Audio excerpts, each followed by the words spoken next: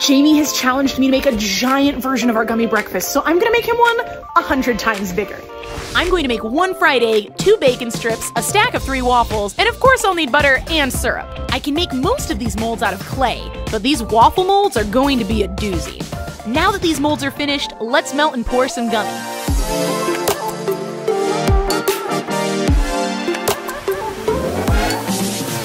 Ooh, look at that slow motion breakfast goodness.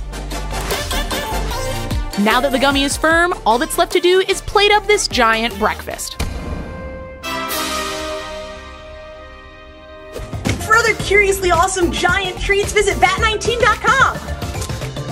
I am exhausted.